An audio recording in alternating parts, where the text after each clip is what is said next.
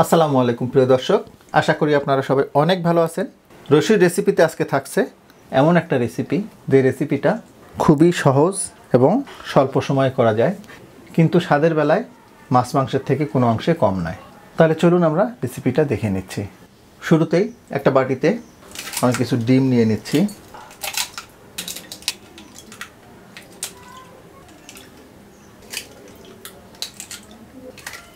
আমি টোটাল দশটা ডিম নিয়ে নিলাম। ডিমগুলোকে একটু ফেটে নিতে হবে।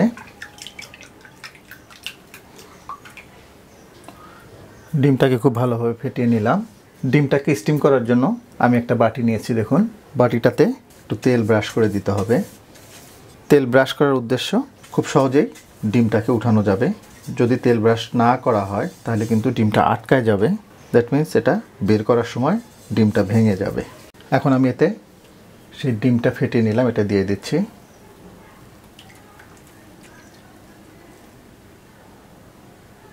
ডিমটাকে এখন আমরা স্টিম করতে দিব। একটা কড়াইয়ে আমি পানি নিয়েছি, দেখুন। জাস্ট এইটুক পরিমাণ পানি নেয়া।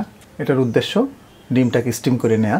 আর পানিটা এমনভাবে দিতে হবে যেন ট্রেটা অর্ধেক পর্যন্ত ডুবে থাকে, ফুল ডুবে না যায়।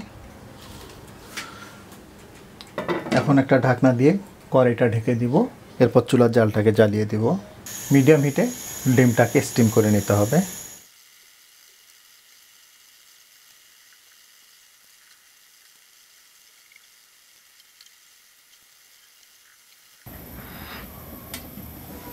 প্রায় পনেরো মিনিট আমি ডিমটাকে স্টিম করে নিলাম। দেখুন, ডিমটা খুব সুন্দরভাবে স্টিম হয়ে গেছে। ডিমটা একটু ঠান্ডা হওয়া পর্যন্ত আমরা অপেক্ষা করব। ডিমটাকে একটা প্লেটে আমি এইভাবে স্কোয়ার করে কেটে নিলাম। আমরা এবার চলে যাচ্ছি। মূল রান্নায়। চুলে একটা পাতিল নিয়ে পাতিলটাকে গরম করে নিয়েছি।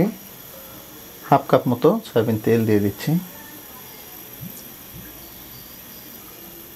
দিচ্ছি দুই টুকরা দারুচিনি, চার পাঁচটা এলাচ, চার পাঁচটা লবঙ্গ। মশলাগুলোকে হালকা একটু ভেজে নিতে হবে, যাতে করে এটা থেকে সুন্দর অ্যারোমা বের হয়।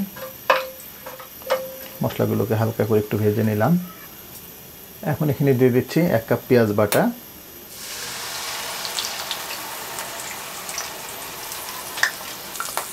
দিচ্ছি একটা চামচ রসুন বাটা, একটা চামচ আদা বাটা। পেঁয়াজ, আদা এবং রসুন বাটাটাকে একটু ভেজে নিতে হবে, যাতে করে এর থেকে কাঁচা গন্ধটা চলে যায়। আদা, রসুন এবং পেঁয়াজ বাটাটাকে একটু ভেজে নিলাম।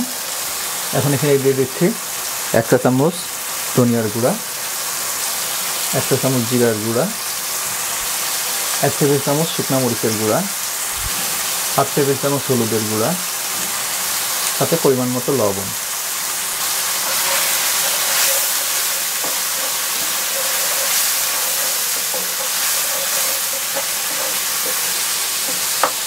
সামান্য একটু পানি দিয়ে দিব।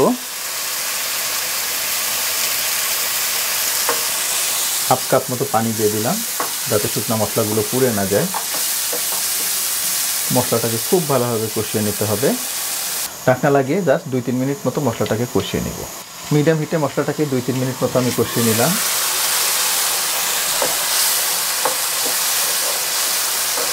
দেখুন, মশলাটা থেকে তেল ছেড়ে দিয়েছে।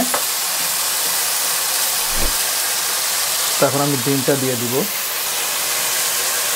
আমি ডিমগুলোকে ভাজিনি। আপনারা হালকা করে ভেজে নিতে পারেন। আমি ভাজিনি এই জন্য যে ডিমগুলো ভাজলে অনেকটা শক্ত হয়ে যায়। আর এইভাবে যদি হালকা করে স্টিম করে রান্না করে নেওয়া হয়, তাহলে কিন্তু খুব চমৎকার সফট হয় এবং জুসি হয়। দুই তিন মিনিট মতো ডিমটাকে আমি একটু কষিয়ে নিলাম। এখন আমি এতে একটু পানি দিয়ে দিব।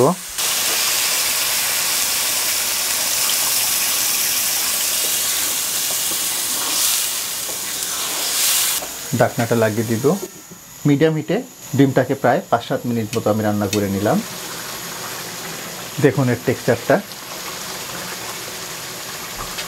দেখুন, সব ডিম কিন্তু খুব ভালোভাবে ফুলে গেছে।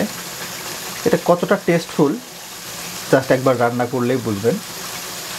তো আমি চুলার জালটাকে বন্ধ করে দিচ্ছি। যাই হোক, আশা করব ডিমের এই সহজ রেসিপিটা আপনাদের অনেক ভালো লাগবে, আর ভালো লাগলেই কিন্তু আমার সার্থকতা।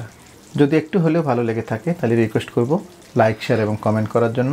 আর আপনি আমার চ্যানেলে নতুন হয়ে থাকলে রিকোয়েস্ট করব আমার চ্যানেলটাকে সাবস্ক্রাইব করার জন্য। তো আজকে পর্যন্তই। আবার নতুন কোনো রেসিপি নিয়ে আপনাদের সামনে আসব। সে পর্যন্ত সবাই অনেক ভালো থাকবেন, সুস্থ থাকবেন, নিরাপদ থাকবেন। আল্লাহ হাফেজ।